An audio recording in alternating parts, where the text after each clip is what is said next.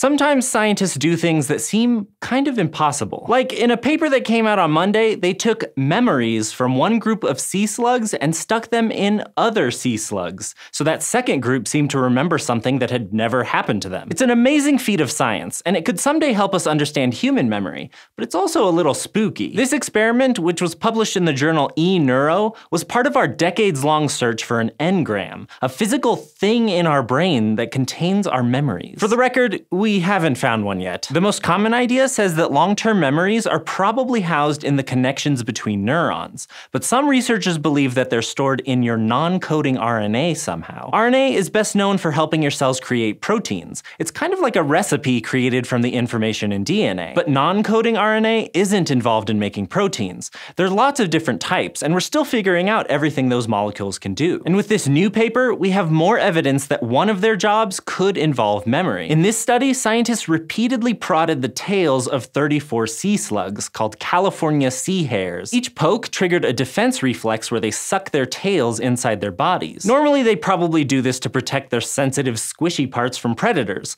but you know, it's good for science too. The more the researchers poked, the longer that reflex lasted. And after two days of this, the sea slugs had been trained to keep their tails in about 60 seconds longer than they had at the start. Then the scientists took samples of RNA from the sea slugs' nervous systems and injected them into the circulatory systems of another group of sea slugs, ones who didn't get any tail prods. And after the injection, these new sea slugs also performed the tail reflex about 40 seconds longer than normal. It wasn't quite as long as the trained group, but the change was big enough to suggest that the sea slugs had basically been injected with the memories of the first group, or at least something in their nervous system changed and made their tail reflexes last longer. After follow up experiments, the researchers believe this happened because that non coding RNA somehow triggered DNA methylation. This is when methyl groups get attached to specific parts of DNA, and it usually stops the production of certain proteins, so maybe that in turn altered something in the sea slug's neurons. There's still a lot to figure out though, like how non coding RNAs cause methylation, and how methylation changes sea slug neurons and ultimately memories. And we can't say for sure that this works the same way in humans, but if it did, it would put us one step closer to understanding where our memories live inside of our heads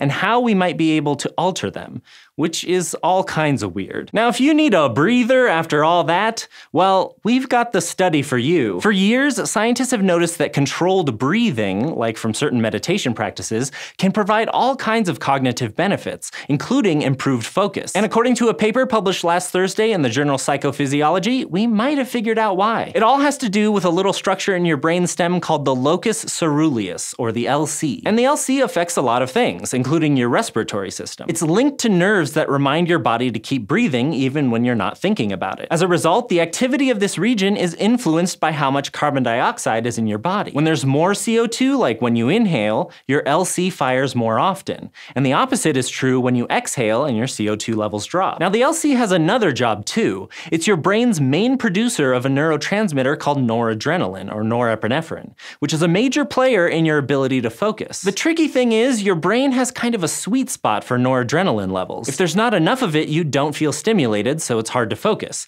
But if there's too much, you feel overstimulated or anxious, so you still can't focus. According to this new study, controlled breathing could help. See, as you inhale and your LC fires faster, it also produces slightly more noradrenaline, and it produces slightly less as you exhale. So by controlling your breathing, the author suggests that you can actually optimize those noradrenaline levels and your focus. In their study, they tracked the locus coeruleus activity of 14 participants during two phases an 8 minute rest and a 20 minute listening task. In the task, they had to pay attention and respond as fast as possible to mostly random tones, which could pop up anywhere between 2.5 and 3.5 seconds apart. To monitor their brain activity, the team used fMRI scans and tracked participants' pupil dilation, since previous work has shown that's a good indicator of locus coeruleus activity. And they found that participants who were better at the listening activity had more synchronization between their breathing and the task. Their inhales and exhales were more in phase with those two to three second intervals. And they probably weren't trying to do that. Instead, the scientists thought that their focus levels were actually changing their breathing